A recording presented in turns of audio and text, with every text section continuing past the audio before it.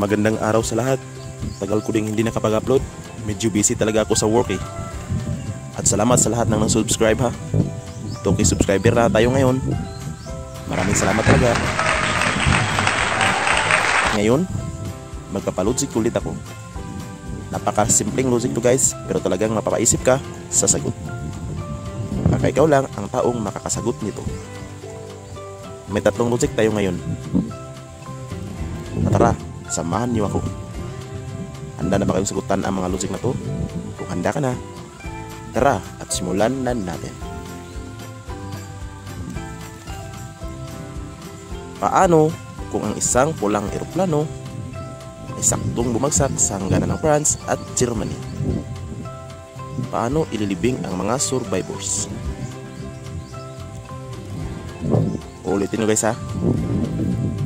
Paano ang isang pulang eroplano ay saktong bumagsak sa hangganan ng France at Germany?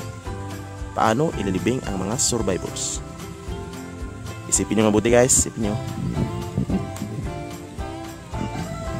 Pangalawang logic. Binili ko ng itim, ginamit ko ng pula. Tinapon ko ng puti. Ano to? Ulitin ko ha. Binili ko ng itim, ginamit ko ng pula. Tinapon ko ng puti. Ano to? Isipin nyo mabuti. Pang platong logic.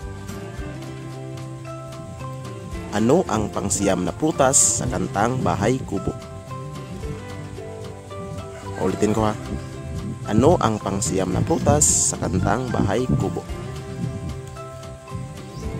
Isipin nyo mabuti guys. At yan ang tatlong logic sa araw na to. Comment lang kayo guys at kung sino yung makakatama, magre-reply na ako sa comment. Hanggang sa susunod pa mga logic ha. Maraming salamat. Huwag niyong kalimutan mag-subscribe at pahit ng notification bell para updated kayo lagi sa bawat upload ko.